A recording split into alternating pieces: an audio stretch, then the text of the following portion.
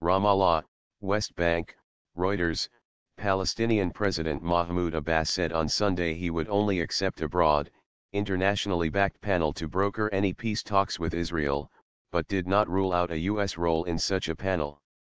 The Palestinians are seething at U.S. President Donald Trump a Euro trademark S recognition last month of Jerusalem as Israel a Euro trademark S capital and Abbas told a meeting of senior Palestinian officials in a speech that the move had disqualified the United States as a peacemaker.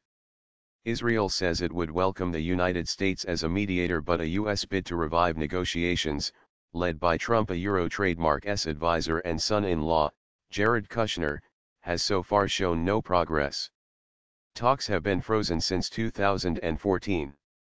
Trump has said that achieving an agreement would be the A-Euro-E deal of the century yeah Euro but Abbas was scathing on Sunday, saying, a Euro or deal of the century is actually the slap of the century, and we will return it a Euro. A Euro we do not accept the United States as a mediator between us and Israel a Euro Abbas said.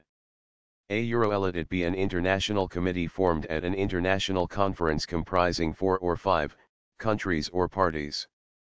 But the United States alone? No a euro.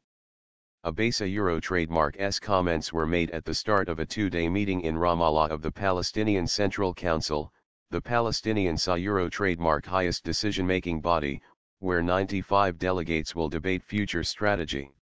A euro will not accept US mediation a euro. A euro we will not accept anything the United States may try to impose on us and we will not accept its mediation following that crime a euro said Abbas, referring to Trump a euro trademark S Jerusalem decision. Palestinian officials have said they will not meet U.S. Vice President Mike Pence when he visits Egypt, Jordan, and Israel this month. Since 2002, a Euro Quartet a Euro trademark of Middle East peace negotiators comprising the United States, Russia, the European Union and the United Nations has been assigned to promote peace efforts, but failed to show any result.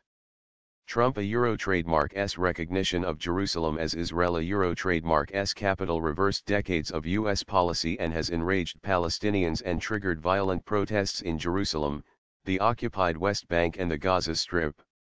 Israel considers Jerusalem to be its eternal, indivisible capital the Palestinians want East Jerusalem as the capital of their future state.